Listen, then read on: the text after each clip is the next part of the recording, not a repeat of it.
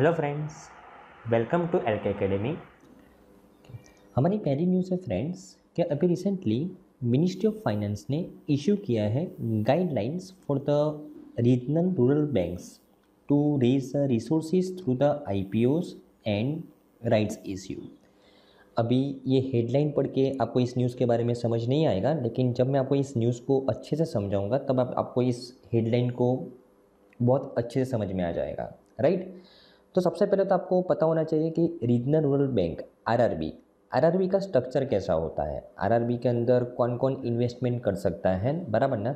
तो इसके बारे में पहले बात करते हैं कि एक्चुअली फ्रेंड्स कि ये जो आरआरबी होती है,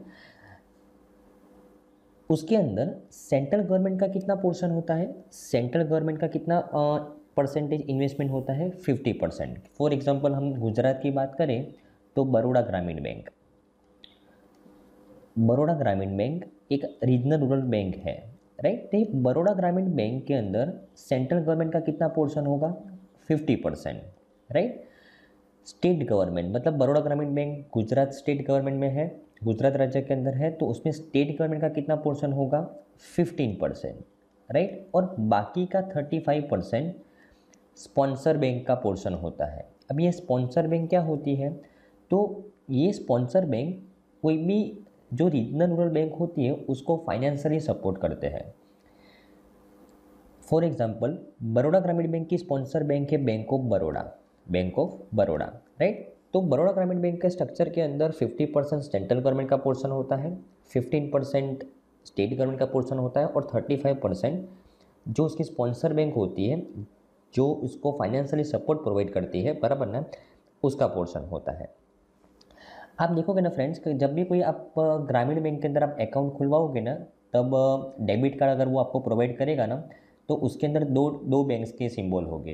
एक तो बड़ौदा ग्रामीण बैंक का, अगर फॉर एग्ज़ाम्पल आप बड़ौदा ग्रामीण बैंक के अंदर अकाउंट खुलवाते हो तो एक लेफ़्ट साइड बड़ौदा ग्रामीण बैंक का सिंबल होगा और राइट साइड है ना, जो उसकी स्पॉन्सर बैंक होगी, उसका सिंबल होगा। राइट तो ये दोनों बैंक का सिंबल होता है। मतलब हर एक ग्रामीण बैंक की कोई स्पॉन्सर बैंक होती है जो उसको फाइनेंशियली सपोर्ट करते हैं। और दोनों की जो बोर्ड ऑफ़ गवर्नर्स होते हैं ना, वो सेम ही होते हैं।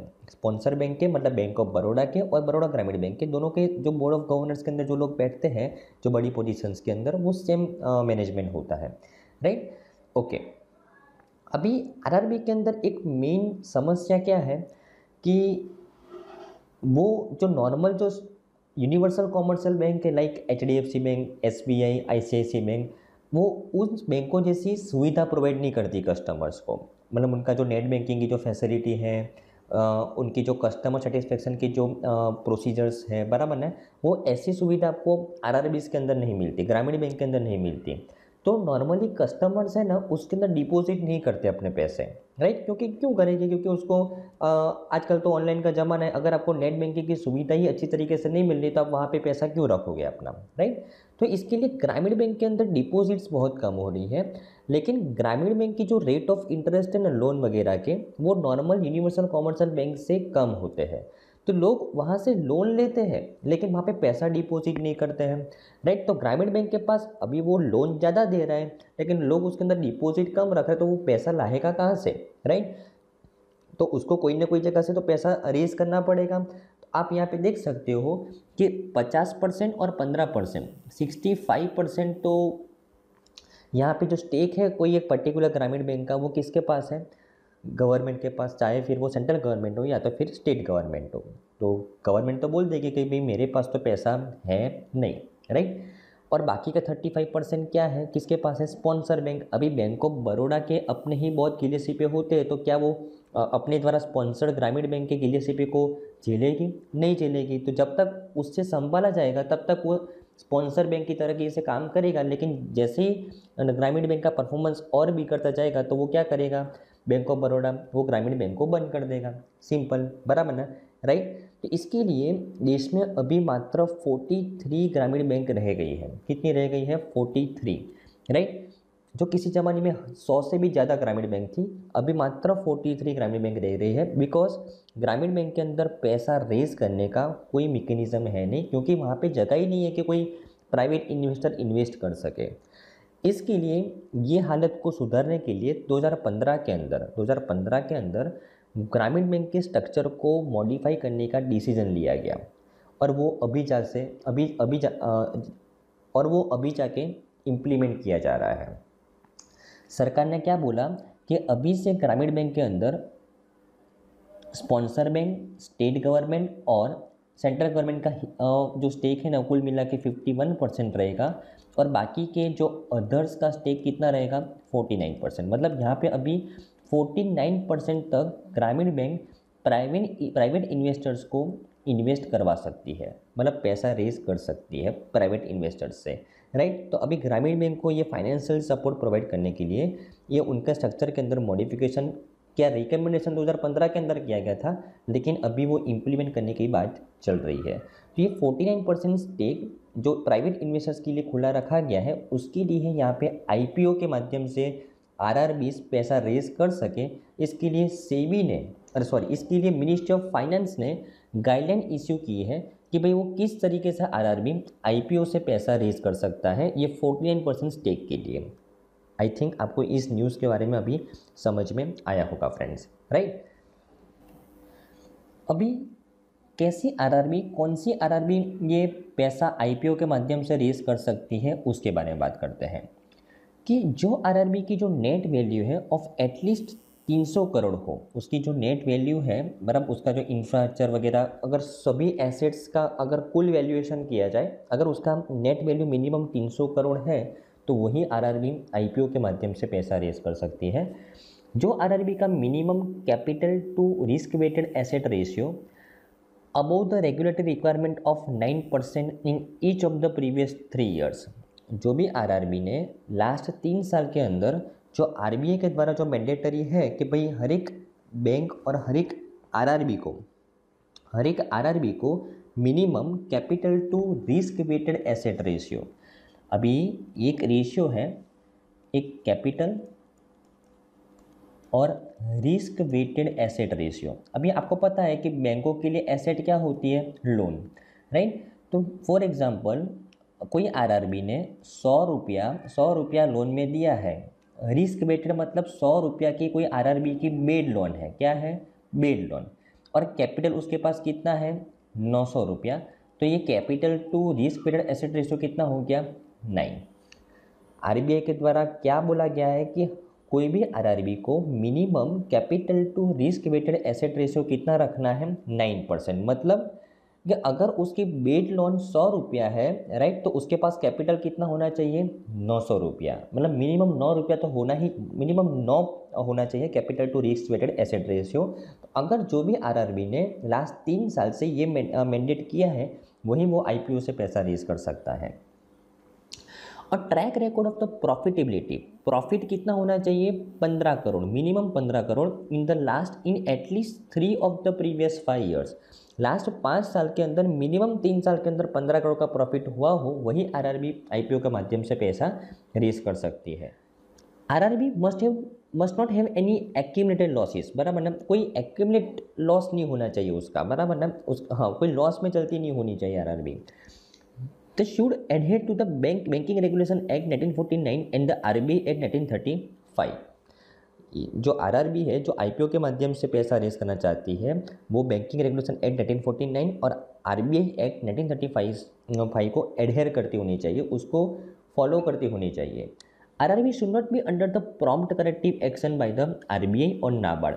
प्रॉम्प्ट करेक्टिव एक्शन क्या होता है कि जब कोई बैंक का बहुत ज़्यादा एनपीए हो जाता है तब उसके ऊपर आरबीआई के द्वारा और आरआरबी के केस के अंदर नाबार्ड के द्वारा उसके ऊपर प्रॉम्प्ट करेक्टिव एक्शन लगाए जाते हैं कि वो फॉर एग्जांपल वो बैंक ज़्यादा ब्रांचेस नहीं खोल सकता वो जो हायर पोस्ट वाले उसको सैलरी नहीं दे, दे सकता ज़्यादा रिक्रूटमेंट नहीं कर सकता। तो ऐसे एक्शन लिए जाते हैं उस बैंक को सही पटरी पे लाने के लिए बराबर ना? तो कि जो आरआरबी आईपीओ के माध्यम से पैसा रेज करना चाहती है वो कोई प्रॉम्प्ट करेक्टिव एक्शन के अंडर में नहीं होनी चाहिए राइट तो अगर ये सब क्राइटेरिया फुलफिल करती होगी, वही आरआरबी आईपीओ के माध्यम से पैसा रेज कर सकती है ओके तो आरआरबी को क्यों पैसा रेस करने की रिक्वायरमेंट हुई और वो कौन से आरआरबी ये पैसा रेज कर सकती है आई थिंक आपको ये पता चला होगा फ्रेंड्स ओके हमारी नेक्स्ट न्यूज़ है फ्रेंड्स कि हमारे जो इंडियन डिफेंस मिनिस्टर है राजनाथ सिंह वो एंड एक्सटर्नल अफेयर्स मिनिस्टर जो एस जयशंकर है, वो विज़िट किया उन्होंने Japan for the second India Japan two plus two minister meeting 2022 अभी ये न्यूज़ को समझाने से पहले मैं आपको एक बात बता दूँ कि ये जो two plus two ministerial meeting होती है ना, वो इंडिया की, जापान के साथ तो होती ही होती है, उसके अलावा ऑस्ट्रेलिया यूएस ऑस्ट्रेलिया यूएस और रसिया, ये तीन कंट्री के साथ होती है। मतलब इंडिया कौन सी कौन सी कंट्री के साथ two plus two ministerial meeting करती है? तो जापान, ऑस्ट्रेलिया यूएस और रसिया। ये चार कंट्री के साथ इंडिया की two plus two ministerial meeting होती है। और ये two plus two ministerial meeting के अंदर हमेशा कौन पार्टिसिपेट करता है? तो हर एक देश के जो डिफेंस मिनिस्टर और जो एक्सटर्नल अफेयर मिनिस्टर हैं, वो पार्टिसिपेट करते हैं। तो यहाँ पे हर टू प्लस टू मतलब दो मिनिस्टर होते हैं कौन कौन से? डिफेंस मिनिस्टर होते हैं और एक्शन अफेयर मिनिस्टर हैं ये चार कंट्रीज़ के। वो चारों कंट्रीज़ के डिफेंस मिनिस्टर और एक्शन अफेयर्स मिनिस्टर के बीच में ये two plus two ministers meeting होती है। तो अभी ये जापान के बीच में हुई है और कहाँ पे हुई है? जापान के अंदर राइट और इसमें किसने पार्टिसिपेट किया इंडिया की तरफ़ से? तो हमारे डिफेंस मिनिस्टर कौन है? राजनाथ सिंह है और हमारे जो एक्शन अफेयर मिनिस्टर कौन है? एस जयशंकर है। तो आपको इतना पता चला होगा राइट इस two plus two ministerial meeting के दौरान इंडिया और जापान के द्वारा एक डिसीज़न लिया गया कि इंडिया और जापान वो होल्ड करेंगे fighter exercise between the air forces of the both countries, बराबर ना? तो एक डिसीज़न लिया गया है ये two plus two ministerial meeting के दौरान, बराबर ना कि भाई इंडिया और जापान के बीच में फाइटर एक्सरसाइज होगी अभी से और वो कौन कौन से फोर्स के बीच में होगी? एयर फोर्सेस के बीच में होगी, बराबर ना? ठीक है? कि अभी रिसेंटली बराबर ना कि Japan has taken the part in the multinational exercise Milan for the first time in March 2022 कि अभी इंडिया ने एक एक्सरसाइज होस्ट की थी मिलन, बराबर उसके अंदर जापान ने पार्टिसिपेट किया था राइट तो ये मिलन एक्सरसाइज कौन हो किसने होस्ट की थी, बराबर? और पहली बार ये मिलन एक्सरसाइज हुई थी सॉरी पहली बार मिलन एक्सरसाइज नहीं हुई थी, जापान ने पहली बार इस एक्सरसाइज के अंदर पार्टिसिपेट किया था, बराबर ना? Yes the exercise witness operationalization of the agreement concerning the reciprocal provision of the supplies and services between the self-defense forces of the Japan and the Indian armed forces. Right? India and Japan have agreed to continue the bilateral and multinational exercises such as the Dharma Guardian, GMAX and Malabar. Right? अभी देखो India और Japan के बीच में कौन कौन सी exercise होती है वो आपके एग्ज़ाम पॉइंट ऑफ़ व्यू से इंपॉर्टेंट है तो सबसे पहले तो इंडिया और जापान के बीच में अगर मैं बायलिटल एक्सरसाइज की बात करूँ तो धर्म गार्डियन धर्म गार्डियन और Japan India maritime exercise ये धर्म गार्डियन इंडिया और जापान के आर्मी के बीच में होती है। ये जीमेक्स वो नेवी के बीच में होती है। मलाबार मलाबार है ना, वो इंडिया, जापान यूएस और ऑस्ट्रेलिया, जो क्वाड कंट्रीज़ हैं, उसके बीच में होती है मलाबार, बराबर ना? और ये इंडिया और जापान के बीच में एयरफोर्स के बीच में कौन सी एक्सर होने वाली है? फाइटर एक्सरसाइज बराबर ना? तो ये सब चीज़ें आपको याद रखनी है। उसके अलावा टू प्लस टू मिनिस्टर्स के अंदर कौन कौन पार्टिसिपेट करता है? कौन कौन सी कंट्री के साथ India two plus two ministers की मीटिंग करती है? वो आपके एग्ज़ाम पॉइंट ऑफ़ व्यू से इंपॉर्टेंट है फ्रेंड्स सो आई थिंक आपको इस न्यूज़ के अंदर अच्छे से समझ में आया होगा। हमारी नेक्स्ट न्यूज़ है कि minister of commerce and industry जो पीयूष गोयल है, वो अभी सैन फ्रांसिस्को गए थे and Los Angeles to attend the first India Pacific economic forum ministerial meeting, IPF ministerial meeting की पहली मीटिंग को अटेंड करने के लिए हमारे जो पीयूष गोयल हैं, जो minister of commerce and industry है, उन्होंने San Francisco and Los Angeles, जो यूएसए में है बराबर वहाँ पे विज़िट किया था, राइट? तो अगर मैं इंडिया पैसिफिक इकोनॉमिक फोरम की बात करूँ तो कहते हैं India Pacific economic forum was launch jointly by the US and other partner countries of the Indo Pacific region कहाँ पे ज्वाइन ये लॉन्च किया गया था? टोक्यो जापान के अंदर। The fourteen members of the India Pacific economic framework are Australia Brunei Fiji India Indonesia Japan Korea Malaysia New Zealand Philippine Singapore Thailand Vietnam and the US right तो India Pacific economic framework framework के कितने members हैं? Fourteen members हैं। कौन कौन से members हैं? वो आपको ध्यान में रखना पड़ेगा। ये उसकी पहली मीटिंग थी जो यूएस के अंदर होस्ट की गई थी और ये जो इंडिया पैसिफिक इकोनॉमिक फ्रेमवर्क को लीड कौन करता है? यूएस बराबर ना? ओके और इसी इंडिया पैसिफिक इकोनॉमिक फ्रेमवर्क के दौरान, बराबर ना? कि हमारे जो पीयूष गोयल हैं, उन्होंने यूएस स्टार्टअप से तो लॉन्च किया था, जो हमने प्रीवियस वीडियो के अंदर देखा था supporting the entrepreneurs for the transformation and the upskilling बराबर ना? तो एक सेतु प्रोग्राम जो ministry of commerce and industry का है, और उस प्रोग्राम को यूएस के साथ लिंक करके यूएस स्टार्टअप हेतु लॉन्च किया गया था, ताकि इंडियन स्टार्टअप को यूएस मेंटर्स मिल सके राइट और वो कहाँ पे? उस, उसके लिए एक पोर्टल भी बनाया गया था, जो हमने लास्ट टाइम डिस्कस किया था, मार्ग पोर्टल बराबर ना? Mentorship advisory assistant resilience and growth program बराबर ना? तो ये मार्ग पोर्टल के ऊपर जाके यूएस के इन्वेस्टर्स वो इंडियन स्टार्टअप के अंदर मेंटर बन सकते हैं, ओके? तो आई थिंक आपको इस न्यूज़ के अंदर समझ में आया होगा। आपको यहाँ पे एग्ज़ाम पॉइंट ऑफ़ व्यू से क्या याद रखना है कि इंडिया पैसिफिक इकोनॉमिक फ्रेमवर्क जो उसके मेंबर कंट्रीज़ कितनी है, कौन लीड करता है? उसकी पहली मीटिंग के अंदर इंडिया की तरफ़ से कौन ने, किसने रिप्रेजेंट किया था? और यूएस स्टार्टअप सेतु के बारे में आपको ध्यान में रखना है मार्क पोर्टल के बारे में खास करके, ओके? चलो। हमारी नेक्स्ट न्यूज़ है कि India stand fourth in the third global crypto adoption index crypto adoption index 2022 के अंदर इंडिया का रैंक कौन सा आया? फोर्थ नंबर पे आया। वियतनाम ने टॉप किया है for the second consecutive time right अभी इस न्यूज़ के बारे में हम देखें तो क्या एज पर द चेनालिसिस ये रिपोर्ट किसके द्वारा लॉन्च किया गया है? चेनालिसिस के द्वारा। तो 2022 global crypto adoption index emerging markets lead in the grass roots adoption right अभी इस रिपोर्ट का नाम क्या है?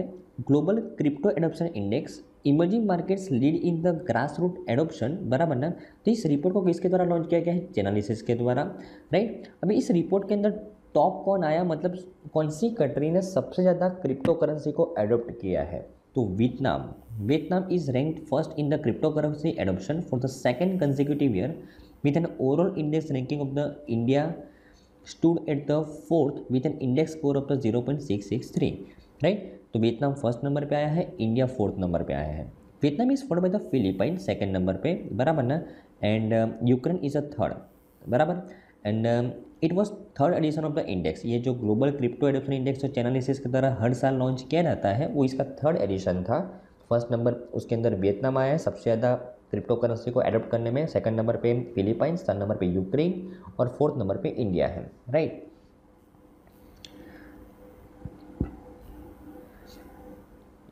कि यस अगर मैं असेसमेंट की बात करूँ तो ये टोटल 154 कंट्रीज़ को यहाँ पे असेस किया गया है, बराबर ना? और इसमें इंडिया का रैंक फोर्थ आया है, और कौन से सब इंडेक्सिस के ऊपर उसको असेस किया गया है, वो ये पाँच सब इंडेक्सिस है, वो आपके एग्ज़ाम पॉइंट ऑफ़ व्यू से इतने इंपॉर्टेंट नहीं है राइट ओके अगर मैं की पॉइंट्स ऑफ़ द रिपोर्ट्स की बात करूँ तो notably emerging markets dominate the index out of the top twenty rank countries बराबर ना? कि टॉप ट्वेंटी कंट्रीज़ के अंदर दस कंट्रीज़ तो लोअर मिडिल इनकम कंट्रीज़ हैं, आठ countries upper middle income countries हैं, और मात्र दो कंट्री जो हाई इनकम कंट्रीज़ है, और वो कौन सी है? यूएस और यूके बराबर तो आपको ये याद रखना पड़ेगा। दस कंट्रीज़ टॉप ट्वेंटी के अंदर तो दस लोअर मिडिल इनकम कंट्री आठ अपर मिडिल इनकम कंट्री और दो है ना high income country US and UK बराबर ना? तो आपको दो हाई इनकम कंट्रीज़ के बारे में याद रखना पड़ेगा, बराबर ना?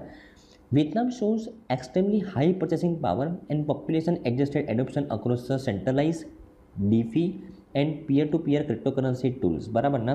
तो वियतनाम के अंदर बहुत ही ज़्यादा एडोप्शन बढ़ गया है क्रिप्टो करेंसी का। एक्चुअली फ्रेंड्स क्रिप्टो करेंसी का एडोप्शन एक्चुअली कोई भी कंट्री के लिए हानिकारक है। बिकॉज़ आपको पता होगा, अगर मैं क्रिप्टो करेंसी का एक बेस्ट एग्ज़ाम्पल लूँ तो बिटकॉइन तो बिटकॉइन अगर मैं, मेरे पास बिटकॉइन है, अगर मैं बिटकॉइन के माध्यम से किसी और को ट्रांजेक्शन करता हूँ तो ये जो ट्रांजेक्शन होता है ना, वो जो जिन दोनों पर्सन के बीच में ट्रांजेक्शन होता है, उन दोनों को ही पता चलता है। Third party third party third party ये ट्रांजेक्शन को ट्रैक नहीं कर सकती। राइट और बिटकॉइन वो कोई भी जनरेट कर सकता है और कितने भी बिटकॉइन को आप बना सकते हो राइट और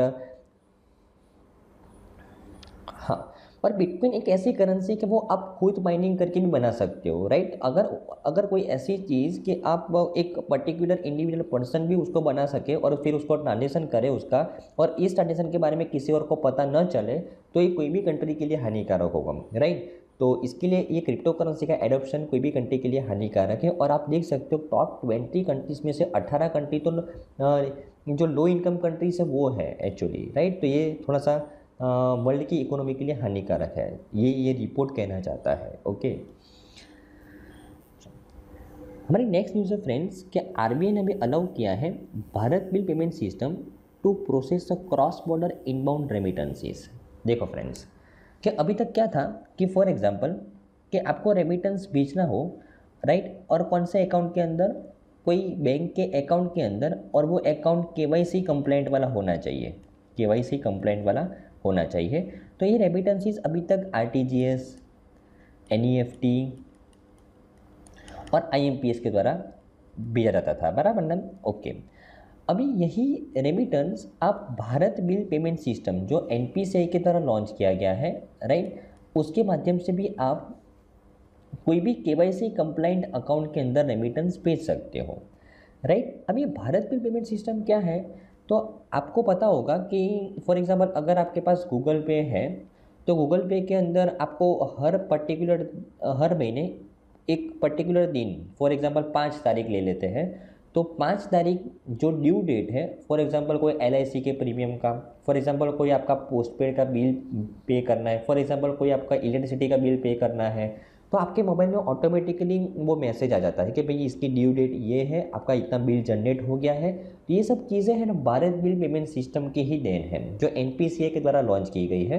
और अगर आप इसके अंदर ऑटो पे का ऑप्शन क्लिक करोगे ना तो आपके जितना भी बिल जनरेट हुआ ना तो वो हर महीने एक पर्टिकुलर दिन पे वो वो बिल अब आपका ऑटोमेटिकली आपके अकाउंट में से कट जाएगा।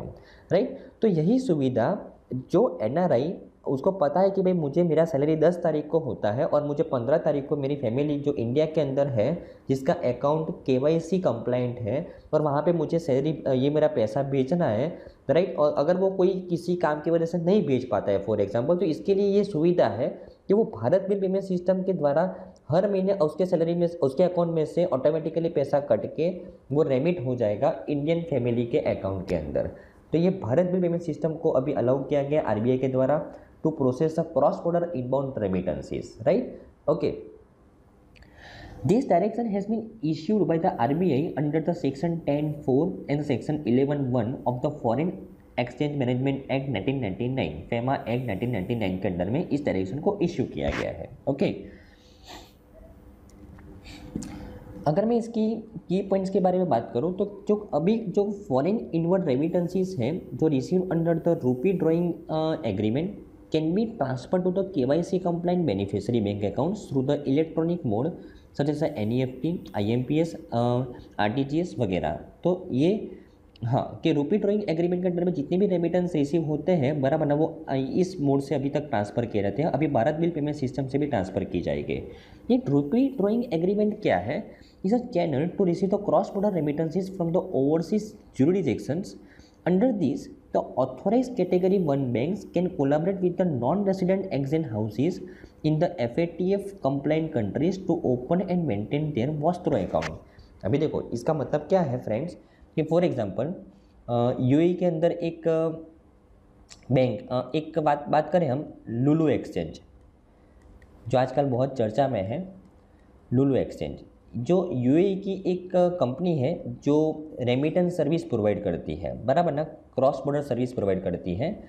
और ये लुलू एक्सचेंज के माध्यम से जो भी पैसा ट्रांसफ़र होता है ना तो ये लुलू एक्सचेंज ने है ना फेडरल बैंक के अंदर अपना पैसा अकाउंट खोल के रखा है फेडरल बैंक के अंदर। तो ये लुलू एक्सचेंज के अंदर जितना पैसा ट्रांसफ़र होता है तो फेडरल बैंक ने फेडरल बैंक के साथ उसने अपना वस्त्रो अकाउंट खोल के रखा है वस्त्रो अकाउंट राइट राइट तो ये वस्त्र अकाउंट फेडरल बैंक के अंदर उसने खोल के रखा है लुलू एक्सचेंज ने, बराबर ना? तो ये लुलू एक्सचेंज के माध्यम से जितना भी पैसा ट्रांसफ़र होगा ना, वो रूपी डिनोमिनेशन में होगा।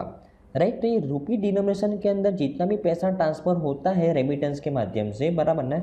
यहाँ पे उसके बारे में बात चल रही है। तो वो अभी तक N E F R T S के अंदर होता था, राइट? लेकिन वो अभी अभी कौन से माध्यम से भी कर पाएगा भारत बिल पेमेंट सिस्टम के माध्यम से भी कर पाएँगे friends okay friends I think आपको इस न्यूज़ के अंदर अच्छे से समझ में आया होगा। हमारी नेक्स्ट न्यूज़ है फ्रेंड्स कि अभी recently minister of the corporate affairs ने भी रिवाइज किया है।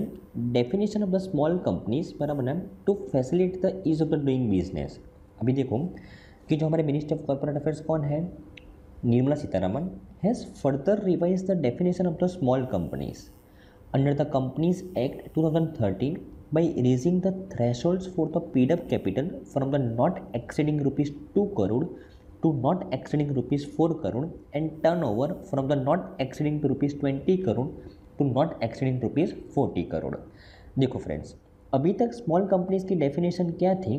अगर मैं बात करूँ दो हज़ार इक्कीस की तो जो कंपनी की पेडअप कैपिटल दो करोड़ तक की हो और जो कंपनी का टर्नओवर ट्वेंटी करोड़ तक का हो तो वो स्मॉल कंपनीज़ कहलाई जाती थी।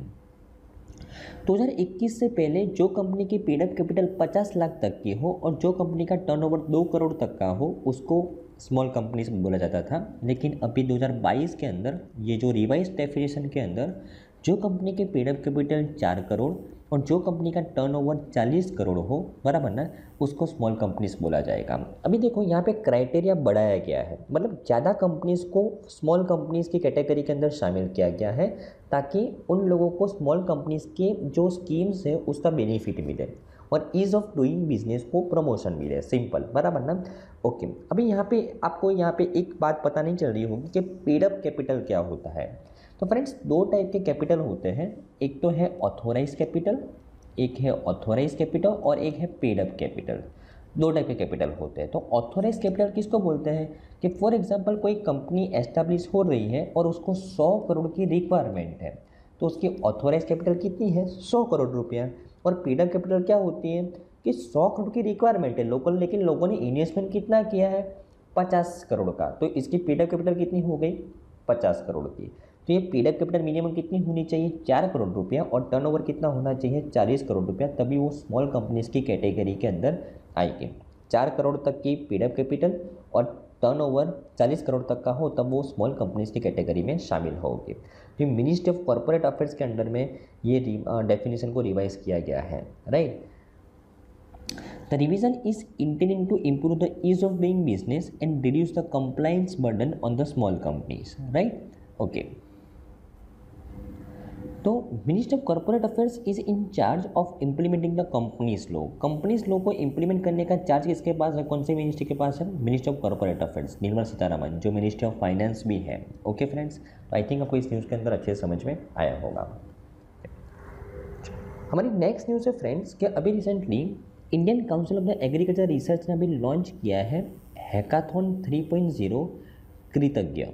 एक नेशनल लेवल का हैकाथॉन है to promote the speed breeding for the crop improvement देखो फ्रेंड्स अभी इस न्यूज़ को हम अच्छे समझते हैं कि अभी recently Indian council of the agriculture research with its national agriculture higher education project national agriculture higher education project and crop science division of the I C R no उन्होंने ऑर्गेनाइज किया है हैकाथॉन 3.0 कृतज्ञ एक national level का एक hackathon on promoting the speed breeding for the crop improvement. देखो hackathon का मतलब होता है एक चैलेंज एक कंपटीशन एक कंपटीशन लॉन्च किया गया, उसका नाम है कृतज्ञ 3.0 किसके द्वारा ये कंपटीशन लॉन्च किया गया है? तो Indian council of agriculture research का जो क्रॉप साइंस डिवीज़न है, और उसके अलावा national agriculture higher education project बराबर ना?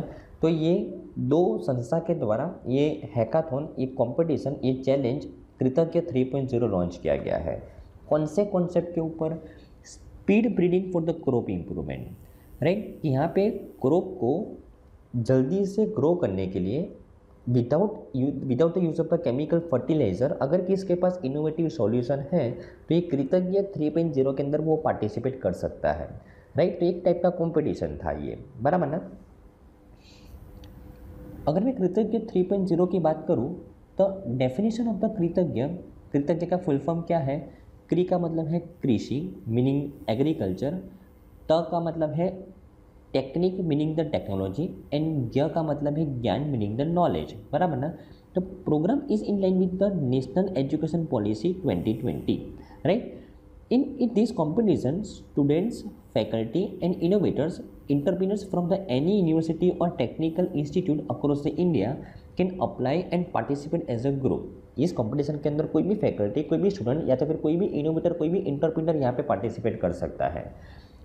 The participating group shall be consist of maximum four person with not more than one faculty and or more than one innovator or the entrepreneur के यहाँ पे maximum चार member तो हो सकते हैं, लेकिन एक फैकल्टी या तो फिर एक इनोवेटर या तो फिर एक इंटरप्रीनर से ज़्यादा ग्रुप में नहीं होना चाहिए। मतलब तीन स्टूडेंट्स मिनिमम होने चाहिए सिंपल बराबर ना? Participating students can be collaborate with the local startups, students from the technology institutes and can be win up to the five lakh जो तो पार्टिसिपेंट स्टूडेंट्स हैं बट वो कितने लाख तक का प्राइस जीत सकते हैं पाँच लाख का स्टूडेंट्स पाँच लाख तक का प्राइस वो जीत सकते हैं बराबर ना It will be provide the opportunity to students, faculties, entrepreneurs, innovators, and the others to showcase the innovative approaches and the technology solutions to promote the innovation for the crop improvement. बराबर ना yes right अभी अगर मैं हाँ। तो इस type के competition की मदद से क्या होगा? तो कि जो स्टूडेंट्स को फैकल्टीज़ के पास इंटरमीडियट्स के पास इंटरमीडियट्स के पास कोई आइडिया होगा क्रॉप इंप्रूवमेंट को स्पीडी बनाने के लिए तो उनको यहाँ पे एक प्लेटफॉर्म मिलेगा सिंपल अभी यहाँ पे ये हैकाथन 3.0 है, जिसका नाम है कृतज्ञा। तो इसी तरह हैकाथन 1.0 और 2.0 भी होगा राइट तो 1.0 किसके ऊपर फोकस था? 2020-21 के अंदर लॉन्च किया गया था, जो innovation in the farm mechanisation के ऊपर फोकस था। टू पॉइंट ज़ीरो दो हज़ार इक्कीस बाईस के अंदर लॉन्च किया गया था जो agriculture engineering and animal science division के ऊपर फोकस था। बराबर ना? तो ये 1.0 कब लॉन्च किया गया था उसका फोकस एरिया क्या था? 2.0 कब कब लॉन्च किया गया था उसका फोकस एरिया क्या था? और अभी 3.0 उसका फोकस एरिया क्या है? बराबर ना? और ये आ, हर साल ये हैकाथन कौन लॉन्च करता है वो आपके एग्ज़ाम पॉइंट ऑफ़ व्यू से इंपॉर्टेंट है। ओके फ्रेंड्स और यहाँ पे स्टूडेंट्स को कितना इनाम मिलता है? पाँच लाख तक का, बराबर ना? ठीक है।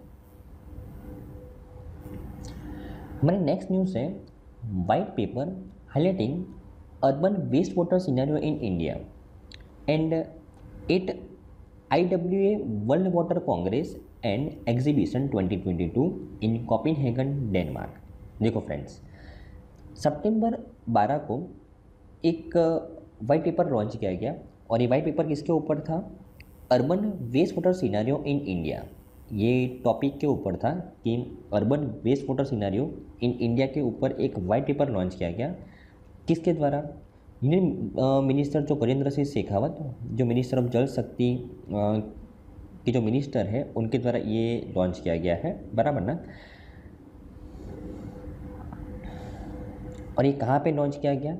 एक लॉन्च किया गया है international water association world water congress and exhibition 2022 जो कॉपिनहेगन डेनमार्क के अंदर जो अभी ये इवेंट हुआ, वहाँ पे ये वाइट पेपर लॉन्च किया गया है urban waste water scenario in India के ऊपर। बराबर ना? मिनिस्ट्री ऑफ़ जल शक्ति जो हमारे गजेंद्र सिंह शेखावत हैं उनके द्वारा।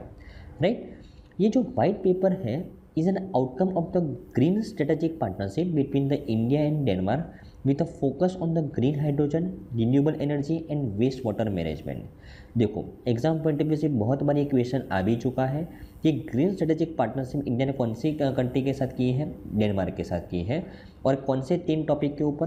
ग्रीन हाइड्रोजन के ऊपर रिन्यूएबल एनर्जी के ऊपर और वेस्ट वाटर मैनेजमेंट के ऊपर। तो यहाँ पे वेस्ट वाटर मैनेजमेंट के ऊपर एक रिपोर्ट लॉन्च किया गया है अर्बन वेस्ट वाटर सीनारियो और ये इस रिपोर्ट को इस रिपोर्ट जिसके अंदर लिखा गया उस पेपर को क्या बोलते हैं? वाइट पेपर बराबर ना? ये वाइट पेपर ये ग्रीन स्ट्रेटेजिक पार्टनरशिप की ही देन है, जो इंडिया और डेनमार्क के बीच में हुई थी okay who prepare the white paper white paper किस, कौन बनाता है? तो it was prepare by the interdisciplinary team which was form by the government of India with the partners from the Urban Innovation Mission, Niti Aayog, Ministry of the Jal Shakti, National Mission for the Clean Ganga, innovation centre Denmark in the Indian institute of the technology Bombay तो ये ये जो संस्थाएँ हैं ये जो ministries हैं ये सब साथ में मिलके वाइट पेपर को बनाती हैं राइट और ये जो innovation centre for the Denmark is a unit under the embassy of the Denmark and Denmark technology university design बराबर ना? ये वाइट पेपर क्या है? हमने देखा कि वाइट पेपर कौन बनाता है, ये वाइट पेपर क्या है?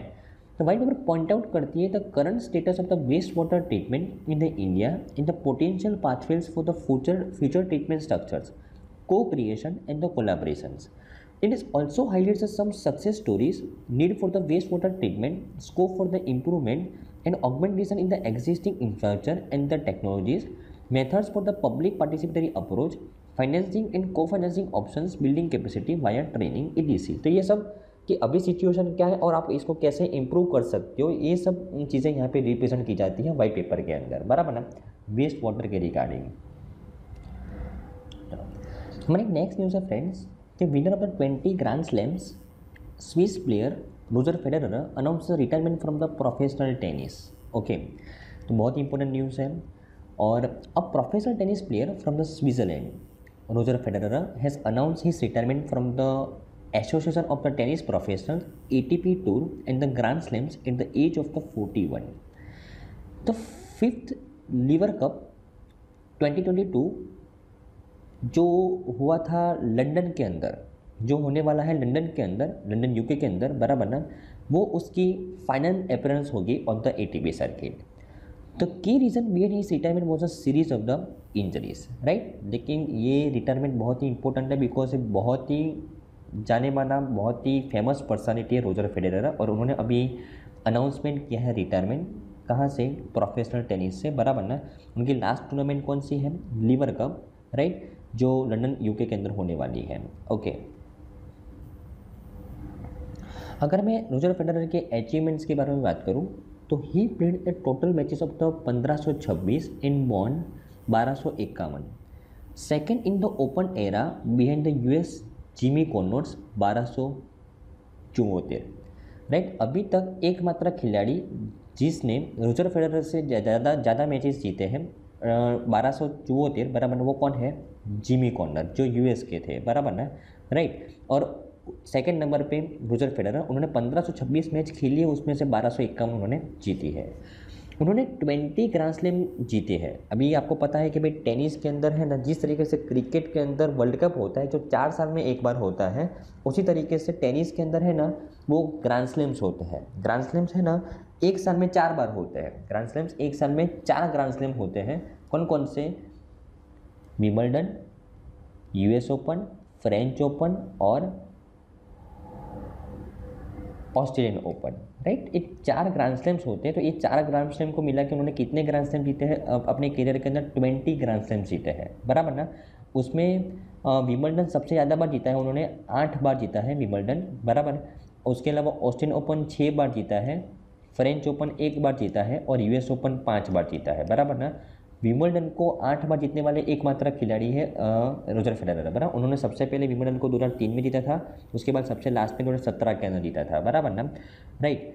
और उसके अलावा उन्होंने पाँच season continuously world number one रहे थे, बराबर ना? ओके तो ये भी एक उनका एक रिकॉर्ड है।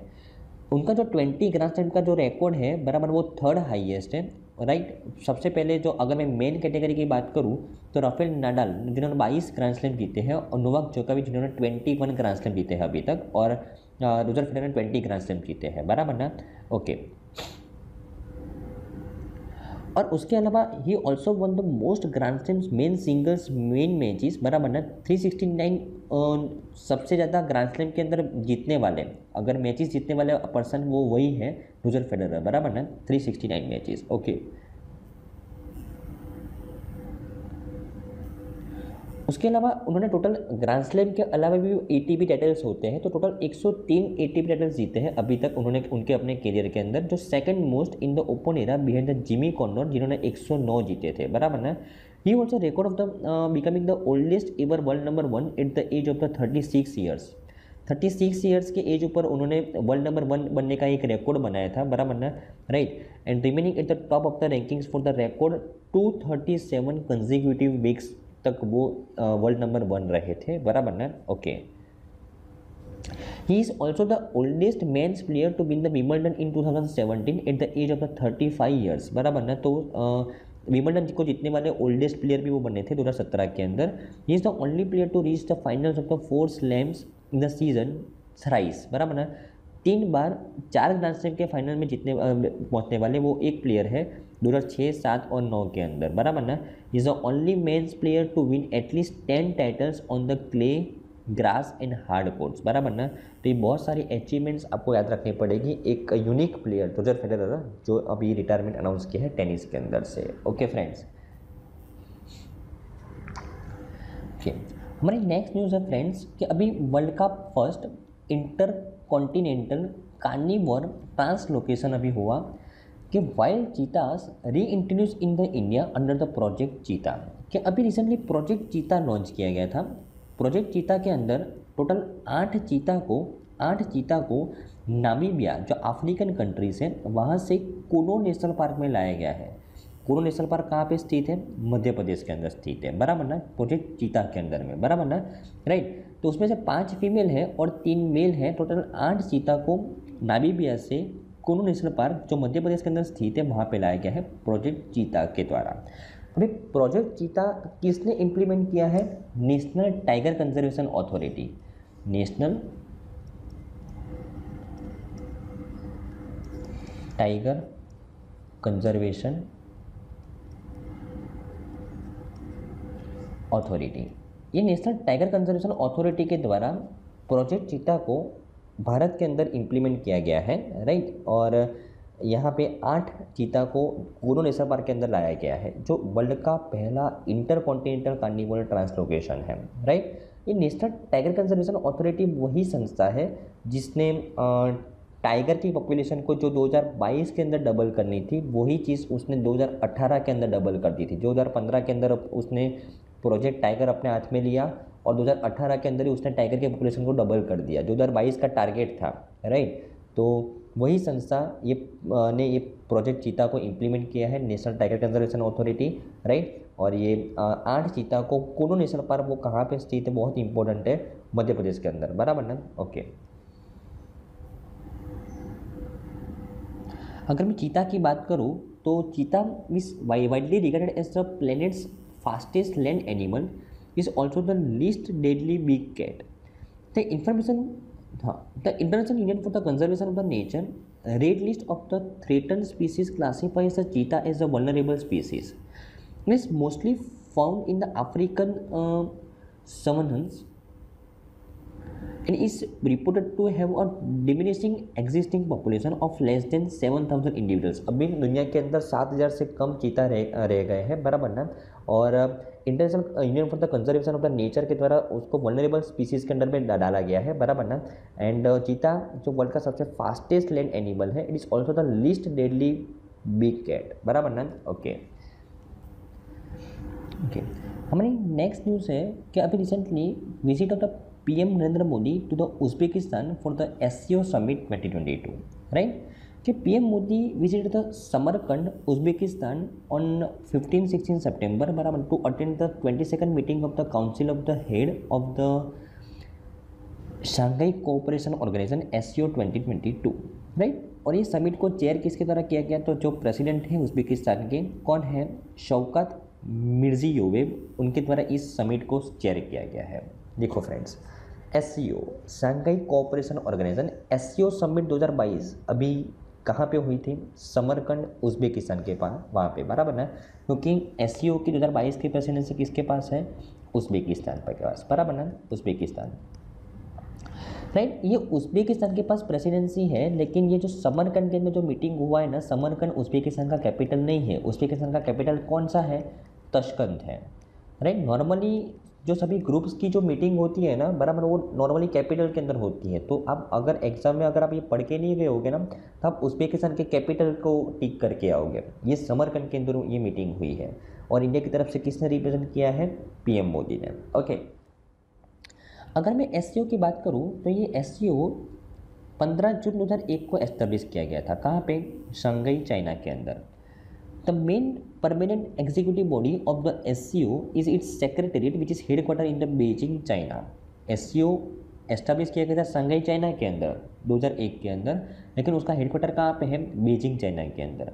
राइट एस सी ओ के अंदर आठ फुल मेंबर है जो छः ओरिजिनल मेंबर है। कौन कौन से? China Kazakhstan Kyrgyzstan Russia Tajikistan and Uzbekistan और दो के अंदर कौन ऐड ऐड हुआ? पाकिस्तान और इंडिया। दो हज़ार सत्रह के अंदर ऐड हुए। टोटल आठ मेंबर कंट्रीज़ हैं। एस के सेक्रेटरी जनरल का नाम क्या है? जेंग मिंग, जो कहाँ से बिलोंग करते हैं? चाइना से। राइट? तो ये चीज़ें आपको उसके स्टेटिक फैक्ट्स के बारे में याद रखने हैं। राइट? और इस बार की समिट के अंदर एक यूनिक चीज़ हुई कि अभी से एससीओ के अंदर क्या डिसाइड किया गया है? कि फॉर एग्ज़ाम्पल 2023 की जो एस की प्रेसिडेंसी है वो इंडिया के पास है 2023 की। अभी 2022 की किसके पास है? उज्बेकिस्तान के पास है, बराबर ना? हाँ। 2022 की किसके पास है? उज्बेकिस्तान के पास है 2022 की, बराबर है लेकिन 2023 की किसके पास है? इंडिया के पास है राइट तो अभी से एस ने क्या डिसीज़न लिया है एससीओ के अंदर कि जो भी कंट्री वो नेक्स्ट ईयर प्रेसिडेंसी करेगी ना प्रेसिडेंसी होस्ट करेगी, उस कंट्री का कोई एक सिटी को tourism and cultural capital announce किया जाएगा। मतलब उस सिटी के अंदर पूरे साल कुछ ना कुछ प्रोग्राम होते रहेंगे और उसके, उसको एक टूरिज़्म का एक्सपोजर मिलेगा राइट तो यहाँ पे 2023 की प्रेसिडेंसी इंडिया के पास है तो इसके लिए एस के द्वारा first ever S tourism and cultural capital announce किया गया है और कौन सी सिटी को यहाँ पे एस का टूरिज़्म एंड कल्चरल कैपिटल बनाया गया है 2023 के लिए? वाराणसी को। वाराणसी को राइट ये आपके लिए एग्ज़ाम पॉइंट में से बहुत इंपॉर्टेंट है ओके अगर मैं एस के प्रेसिडेंसी की बात करूँ कि to host the S C O summit in twenty three during 2023 during the 22nd meeting of the SCO Council of the Head of the State 2022 in the Samarkand, Uzbekistan, India took over the rotating presidency of the S C O from the Uzbekistan इसी मीटिंग के दौरान India ने took over किया है। Uzbekistan से presidency India ने ले ली है दो हज़ार तेईस के लिए। India will hold the presidency of the group for the year कब तक? सितंबर 2023 तक। बराबर ना? Me next meeting of the S C O council of the state of the state in twenty three कहाँ पर होगी? इंडिया के अंदर। ओके हमारी नेक्स्ट न्यूज़ है फ्रेंड्स वर्ल्ड रेसलिंग चैम्पियनशिप अभी रिसेंटली हुई और ये वर्ल्ड रेसलिंग चैम्पियनशिप कहाँ पे हुई? बेलग्रेड, सर्बिया के अंदर राइट और ये सेवनटीन एडिशन था वर्ल्ड रेसलिंग चैम्पियनशिप का, जो बेलग्रेड, सर्बिया के अंदर हुई राइट और यहाँ पे इंडिया के जो बजरंग पुनिया एंड विनेश फोगट, उन्होंने ब्रॉन्ज मेडल जीता है, उसके बारे में देखते हैं। कि seventeen edition of the world wrestling championship और world wrestling championship 2022 was held कहाँ पे? बेलग्रेड, सर्बिया के अंदर राइट और यहाँ पे यूएसए ने पॉइंट टेबल को लीड किया है। टोटल पंद्रह मेडल जीते हैं यूएसए ने राइट सेकंड नंबर पे है जापान थर्ड नंबर पे है तुर्की और इंडिया का नंबर आया है ट्वेंटी फोर्थ और इंडिया को कितने मेडल मिले हैं? दो, और वो भी कौन से हैं? ब्रॉन्ज और किसने किसने जीता है? बजरंग पुनिया और विनेश फोगट। अगर मैं बजरंग पुनिया की बात करूँ तो इंडिया के जो बजरंग पुनिया, जो हरियाणा से बिलोंग करते हैं, उन्होंने ये 65 फाइव के कैटेगरी के अंदर ये मेडल जीता है right this his fourth championship medal उन्होंने ये वर्ल्ड रेसिंग चैंपियनशिप को चौथी बार जीता है मतलब कोई ना कोई मेडल जीता है in the world wrestling championship edition previously he has won a silver in 2018 and a bronze in 2013 and 19 right right? तो ये उनका चौथा मेडल है वर्ल्ड रेसिंग चैंपियनशिप का। तीन बार उन्होंने ब्रॉन्ज जीता है, एक बार सिल्वर जीता है। He is the only wrestler from the India to have the four medals in the world wrestling championship Bajrang Punia right अगर मैं बजरंग पुनिया की बात करूँ तो वो अट्ठाईस साल ओल्ड है राइट उन्होंने दो गोल्ड मेडल जीते हैं दो हज़ार अट्ठारह के कॉमनवेल्थ गेम्स के अंदर एंड 2014 एशियन गेम्स के अंदर और एक ब्रॉन्ज मेडल जीता है टोक्यो ओलंपिक्स के अंदर। मतलब बहुत ही फ़ेमस पर्सनालिटी है बजरंग पुनिया कौन से स्पोर्ट से बिलोंग करते हैं? रेसलिंग। उन्होंने दो गोल्ड मेडल जीते हैं 2018 के कॉमनवेल्थ गेम के अंदर और एक 2014 के एशियन गेम्स के अंदर। अभी रिसेंटली 2020 के अंदर जो टोक्यो ओलंपिक्स हुआ था, उसमें उन्होंने ब्रॉन्ज मेडल भी जीता है। Is a first Indian wrestler to be rank world number one in any category right तो ये बजरंग पुनिया के बारे में आपको पता होना चाहिए। अगर मैं विनेश पोगट की बात करूँ तो विनेश पोगट का ये second world wrestling championship medal था। बराबर ना? एक वो गोल्ड मेडलिस्ट रहे चूँकि अभी जो कॉमनवेल्थ गेम्स जो 2022 अभी जो हुआ था, उसमें उन्होंने गोल्ड मेडल जीता था, बराबर ना? और ये वर्ल्ड रेसिंग चैंपियनशिप का उनका सेकंड मेडल है। उन्होंने ये सेकंड ब्रॉन्ज मेडल जीता है वर्ल्ड रेसिंग चैंपियनशिप के अंदर, बराबर ना? अगर मैं विनेश फोकट की बात करूँ तो become the first Indian women wrestler to win the gold in both commonwealth and Asian games बराबर ना? तो कॉमनवेल्थ एंड एशियन गेम्स में गोल्ड जीतने वाली वो पहली इंडियन वुमेन है। She's won the three commonwealth golds बराबर दो हज़ार चौदह के अंदर भी उन्होंने गोल्ड मेडल जीता, दो हज़ार अठारह के अंदर भी और दो हज़ार बाईस के अंदर भी। One Asian games gold medal in दो हज़ार अठारह and one and world championship bronze in 2019 in edition to the Asian championship in 2021 उनको अवार्ड्स भी बहुत सारे मिले हैं। The government of India has honour the Vinesh Phogat with the Arjuna award in 2016 and the Rajiv Gandhi Khel Ratna award in 2020 Phogat become the first Indian athlete to be nominated for the Laureus world sports Awards in 2019 right तो ये बहुत सारी achievements Vinesh Phogat के बारे में भी आपको याद रखनी पड़ेगी फ्रेंड्स बराबर ना? तो आई थिंक आपको आज के सभी न्यूज़ के अंदर अच्छे समझ में आया होगा friends thank you friends bye